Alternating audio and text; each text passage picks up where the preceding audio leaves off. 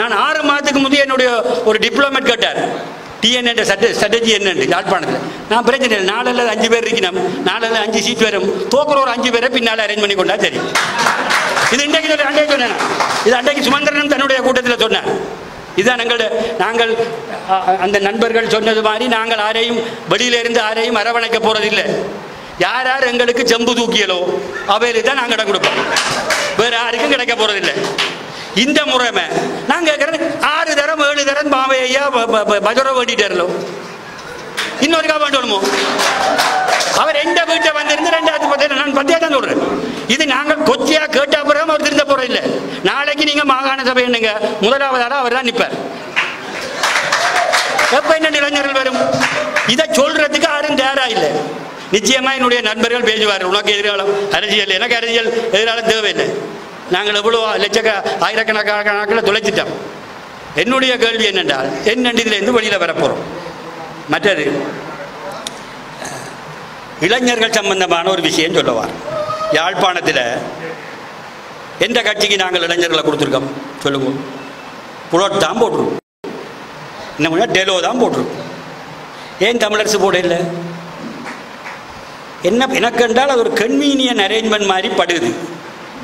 ஏனெண்டா இந்த அரசியல் தலைவர்கள் செய்கிற மாயாஜாலங்களை பார்க்க ஏதோ பின்னால் ஆரையோ கட்டி வளர்க்குறதுக்காக இடையில வராமல் ஆக்களை வெட்டி விடுற மாதிரி எனக்கு படுது. தயவு செய்து குறுக்கால கொண்டு வர்ற வேலை இருக்கல்லோ. இந்த மண்ணில் நாங்கள் நின்றோம் தானே இந்த மண்ணில் நாங்கள் கடத்தப்பட்டோம் தானே? இந்த மண்ணில் நாங்கள் அடிவண்ணம் தானே?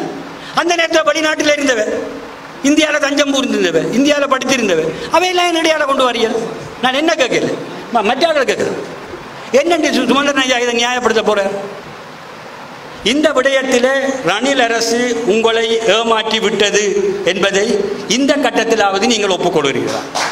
இதுதான் என்னுடைய கேள்வி. இந்த கட்டத்திலாவது இதை ஒப்புக்கொள்கிறீர்களா? ரெண்டாயிரத்தி பத்தில் நீங்கள் சரவணவனை கொண்டு வாரீங்க. இந்த மண்ணுக்கு என்ன செய்தவர்? இப்போ அம்பிகா சக்குனான கொண்டு வாரீங்கள்.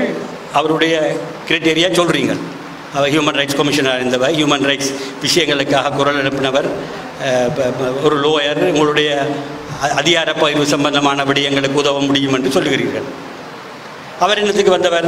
ஊடகத்துக்கு. சரி ஊடகத்துக்கு வந்தீங்க. அது உண்மையாக மாவை என்ன செய்த மிகப்பெரிய தவறு. நான் பச்சையா சொல்கிறேன் மாவை என்ன செய்த மிகப்பெரிய தவறு. அவர் என்னுடைய வீடு தேடி மூன்று தரம் வந்தார். நான் பற்றியா சொல்கிறீங்க அவர்கிட்ட கேட்கலாம். மூன்று தடவையும் யாழ்ப்பாணத்தில் ஒரு ஊடகவியலாளர் என்ற முறையில் உங்களுக்கு சொல்கிறேன் ரெண்டாயிரத்தி நாலில் விடுதலை புலிகள் மட்டக்களப்பில் நிப்பாட்டின மூன்று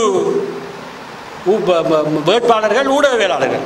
யானந்தமூர்த்தி அரியநேத்திரன் ஜோசப்பர் ராஜசிங்கம் யானந்தமூர்த்தியும் அரியநேத்திரனும் சுடரொளி ஆசிரியர் என்ற எனக்கு செய்தி அனுப்பி சார் செய்தி அனுப்பியிருக்கோம்னு டெலிஃபோனில் பேசுகிற ரிப்போர்ட்டர்ஸ் நானும் ஜோசப் ராஜசிங்கமும் ஒரே பத்திரிகையில் சப்பரிட்ட சபையில் செய்த நண்பர்கள். நீங்கள் புலிகள் சம்பந்தமான உங்களுடைய நிலைப்பாட்டை தெளிவுபடுத்தணும். ஒரு விஷயத்தை புரிஞ்சு கொள்ளுங்க. ஆயுத ரீதியாக ஆயுத ரீதியாக ஆயுத ரீதியாக புலிகளுடைய போராட்டம் வேறு. ஜனநாயக ரீதியில் நீங்கள் நடத்துகிற போராட்டம் வேறு. அந்த காலத்தில் கட்டவிழ்ந்தது வேறு. நீங்கள் இப்போ செய்யக்கூடியதும் சகோதர படுகொலை தான் இப்போ எப்படி வைப்போமே? நான் இப்போ போனோம் நாற்பது வருஷம் இந்த மண்ணோட இருந்த எனக்கு வாய்ப்பளிக்கல. சவரப்படுவில் தானே? ஜனநாயக தானே? நான் உரிமையாக கேட்கல இதை நீங்கள் உங்களால் செய்ய முடியும் என்னத்தால? வாக்க வச்சு ஜனநாயகத்தில். அது பிரபாரணம் செய்ய முடியுமா? ஆயுதத்தால். புலிகள் என்ன செய்தார்கள்? அரசாங்கம் மயிலே மயிலே இறகு போடண்டா இறகு போட போடல புலிகள் பிடுங்கி எடுக்க வலிக்கிட்டார்கள் நீங்க என்ன செய்ய போறீங்க? நீங்க என்ன செய்ய போறீங்க? எந்த கேள்வி இதுதான்?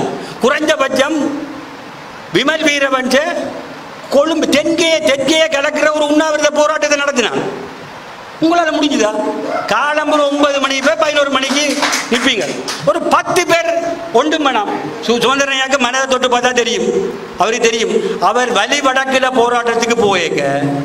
ஒரு முப்பது நாற்பது பொடிகள் மறைச்சு ஐயா எங்களை சாகும் வரை இருக்க உண்ணாவிரதம் இருக்க விடுங்கோ. என்று கேட்டார்களோ இல்லையோ? நீங்கள் வேணாமட்டு மறைச்சிங்களோ இல்லையோ? ஏன் அப்படி ஒரு அதிர்வான போராட்டத்தில் எங்களால் முன்னெடுக்க முடியாமல் இருக்கு? சும்மா வெறுமனே இந்த மாவையா விடுற மாதிரி கயிறு. வெடிக்கும் போராட்டம் பிடிக்கும் போராட்டம் ஏன் விட்டு கொண்டிருக்கிறார் வேணாம் எனக்கு விளக்கல் நிச்சயமா இந்த மகள் நாளைக்கு டெலிஃபோன் பண்ணி சொல்லுவாள். அப்பா உனக்கு இனி இந்த பக்கமே அரசியல் இல்லையா அது வேற. இந்த கம்பெனியா போய் இப்போ படம் போட்டு திறக்கிற வேலையில் நீங்கள் இருந்தீங்கன்னா கடைசி வரை இந்த போராட்டம் வராது.